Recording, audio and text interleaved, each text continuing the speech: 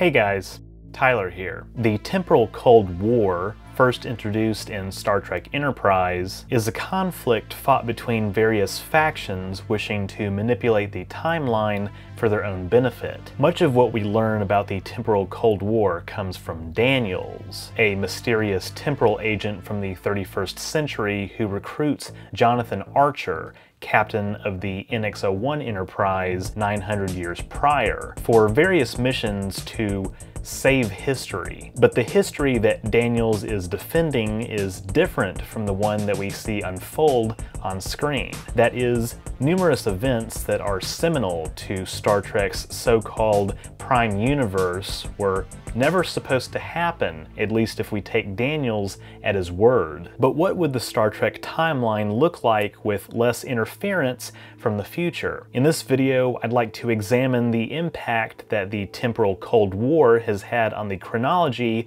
of Star Trek's prime timeline. But before we begin, a word from today's sponsor, Star Trek Timelines. Star Trek Timelines is the ultimate Star Trek strategy RPG. This interactive mobile game is free to play and available on all devices. Download it by clicking the link in the description or scanning the QR code now and claim special rewards. Join to save the galaxy from temporal anomalies and enjoy action-packed 3D ship battles. You'll find all your favorite characters, Spock, Kirk, Picard, Pike, Mariner, Janeway, Burnham, and more. Collect them all to assemble the best Starfleet crew. Become a captain, take command of your starship, and explore deep space. Complete missions and ship battles to level up and collect captain rewards. Warp to new destinations, receive distress calls, and aim to bring order to this chaos by assembling your crew and sending them on missions. Command iconic starships like the USS Enterprise and Voyager. Take part in legendary PvE and PvP battles that will put your captain skills to the test. Unlock new characters and rewards by completing daily missions and participating participating in campaigns featured daily in the Event Hub. Gain XP to influence factions, rank up in the leaderboards, and unlock special events and rewards. Invite your friends and create or join a fleet to share bonuses. This week, Star Trek Timelines is running a challenge and giving 5 extra-large Enterprise NCC 1701 Starship models to 5 new players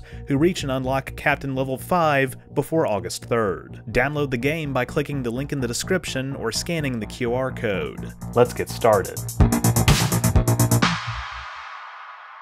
The first major deviation that we see on screen is in the pilot of Enterprise, Broken Bow. It involves members of the Suliban Cabal, an interstellar terrorist organization active in the 22nd century. The Suliban's homeworld had been rendered uninhabitable 300 years earlier, forcing the species to become nomadic. The Cabal takes orders from a mysterious humanoid figure native to the 28th century. This future benefactor's identity is never revealed. As payment for their services, the benefactor Factor provides members of the Cabal with technical expertise to perform genetic augmentations on themselves, including giving themselves enhanced senses, the ability to shapeshift, and the ability to withstand extreme environmental conditions. He also provides them with technology like cloaking devices. The Cabal opposes various other factions in the Temporal Cold War, including the Tholians, the Sphere Builders, the Tandarans, the Na'kuhl,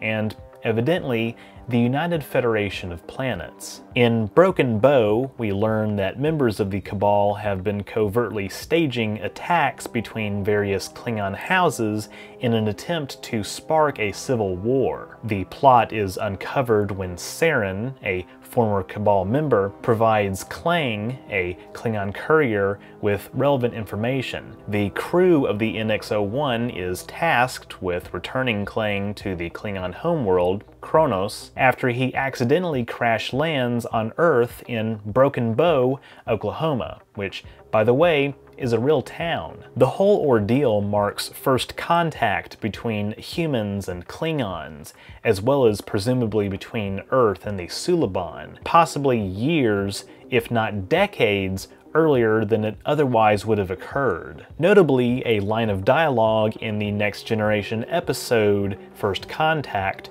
references a long, bloody war between the Federation and Klingon Empire in the aftermath of a botched First Contact, something we never see in Enterprise. A similar war in the late 2250s is, however, depicted in Season 1 of Star Trek Discovery. Ultimately, it's possible that the depiction of alternate human-Klingon relations in Enterprise, a century before Discovery, does indeed constitute a retcon. This arguably opens up a whole can of worms that the writers of current Trek are not shying away at all from opening, it seems, as it means the new shows could actually take place in an alternate prime universe than the one that for example, the original series took place in. If true, this would arguably give credence to some of the arguments of the show's biggest critics, while paradoxically also rendering those arguments moot.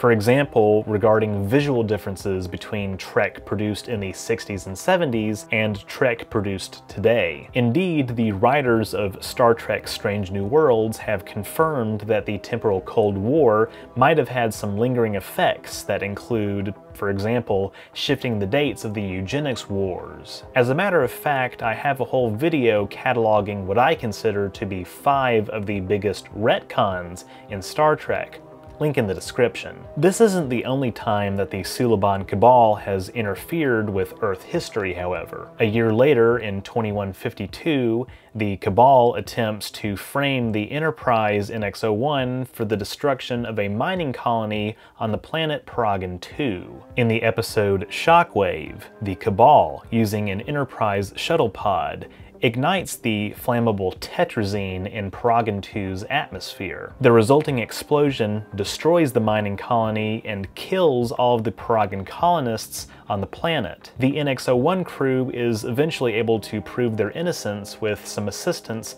from Daniels. This might sound like nothing ultimately changes, but on the contrary, Daniels remarks that the destruction of the Paragon 2 mining colony was quote-unquote never supposed to happen, as it interfered with the Enterprise's mission. Over a century earlier, an even more severe deviation occurs that has reverberating effects on Earth's history for centuries to come, following the conclusion of the Xindi Civil War around 2033. The Sphere Builders, a humanoid species from a transdimensional realm, make first contact with the Xindi. The Sphere Builders have the ability to observe various possible futures, and in one, they observe their defeat at the hands of the Federation in the 26th century, after the Sphere Builders attempt to invade normal space. To avoid this, the Sphere Builders present themselves to the Xindi as gods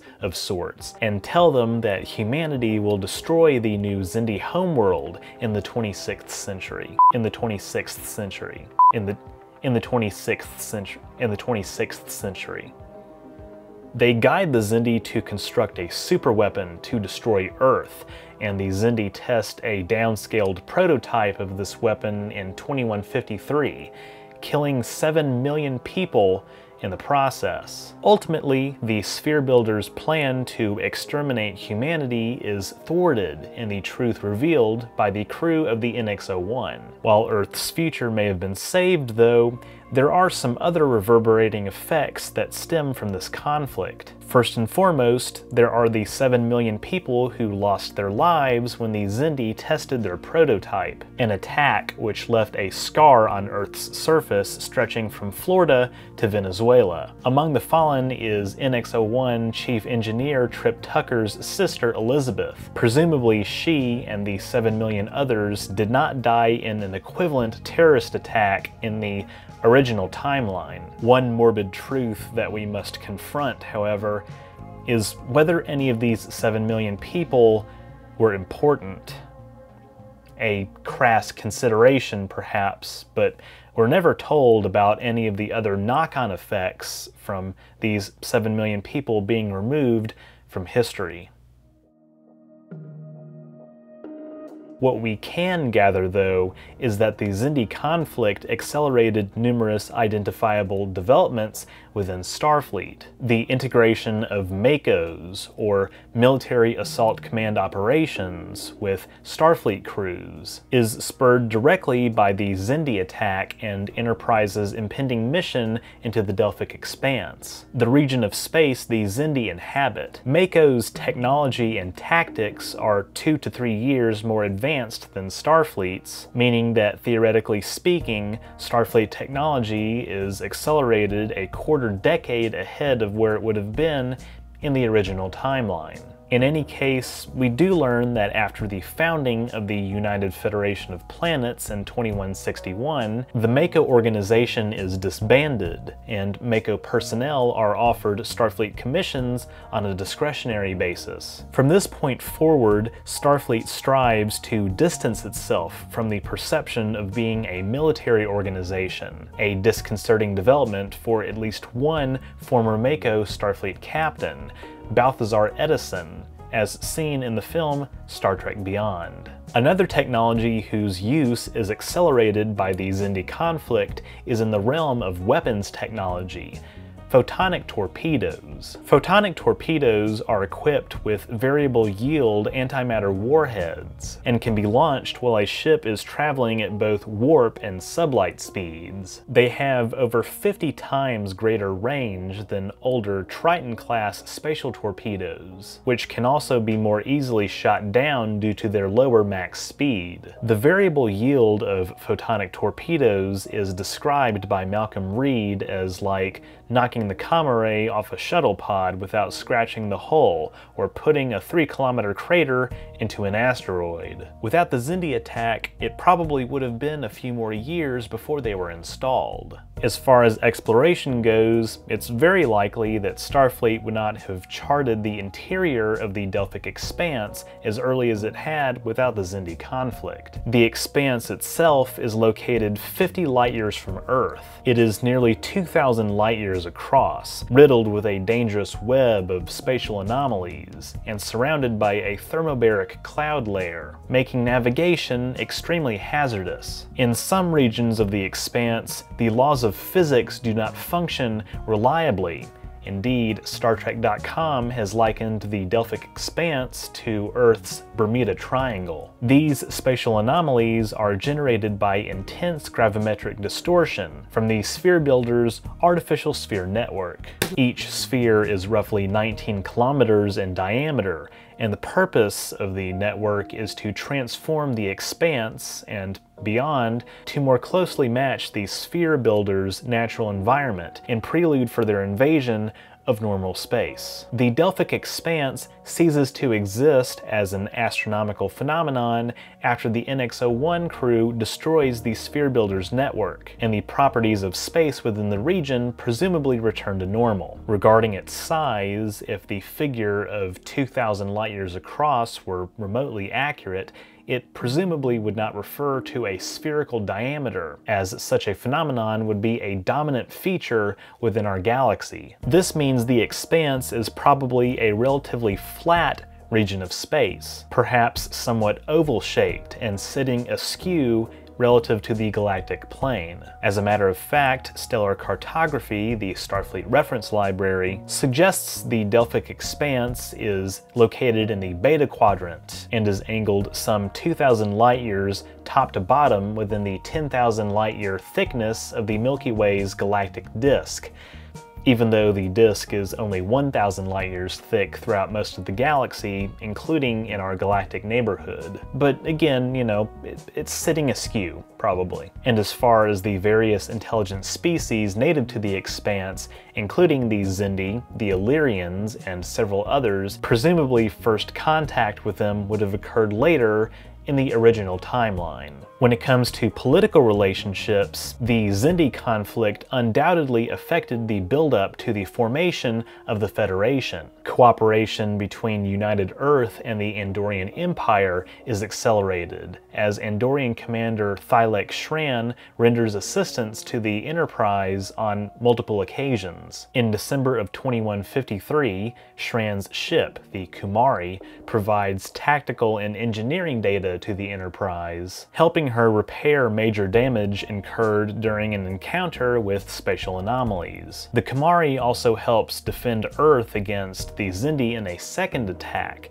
giving the NX-01 crew time to destroy the Xindi superweapon. Shran does not hesitate to remind Archer that they are no longer even, and Archer owes him a favor, and Archer follows through on multiple occasions. Having waned prior to the Xindi attack in 2153, the extremist political group Terra Prime starts growing again in the wake of the conflict. They gain enough influence to cause concern among Earth leaders, and this concern is justified, as Terra Prime plans to carry out a terrorist attack of their own. Terra Prime leader John Frederick Paxton orders the creation of a human-Vulcan binary clone, combining DNA from commanders Tucker and T'Pol, and Paxton plans to use the baby girl to rally the public behind his xenophobic views. He then hijacks the Verteron array on Mars, normally used to deflect collision course asteroids, and points it towards Earth, threatening to blow up Starfleet Command unless all aliens leave the system. The plot is, once again, thwarted by the NX-01 crew, and Paxton is taken into custody. Presumably, this sequence of events would not have unfolded without the Xindi crisis, or maybe it would have, as Terra Prime were originally intended to be the main antagonists of Enterprise's first season, until Paramount ordered the creation of the Temporal Cold War. In any event, Terra Prime's efforts to isolate Earth from the rest of the galaxy ultimately fail. The Temporal Cold War temporarily turns hot when another faction, the Na'kuhl, try to eliminate Earth as a threat by changing the past, but this interference is eventually undone. Following this victory, Daniels remarks that Archer has helped end the temporal Cold War. And indeed, as we see in Season 3 of Star Trek Discovery, not too long after Daniel's final interaction with Archer, presumably sometime before the late 31st century, time travel technology is destroyed and outlawed, an amendment to the Temporal Accord, already in place by the 28th century, might have been drafted and ratified around this time. This updated accord would have prevented intervention from the future to stop the burn. And prior to this event, one could conceive of 31st century temporal agents scratching their heads as to why they weren't receiving visitors from the future. Although, to be fair, in the novels, any, anyway, it, forget I said anything. As for who has the power to enforce such a new order, well, the Federation is probably the dominant power in the galaxy at this point, at 350 members strong, so they probably have some leeway when it comes to imposing their will on the cosmos.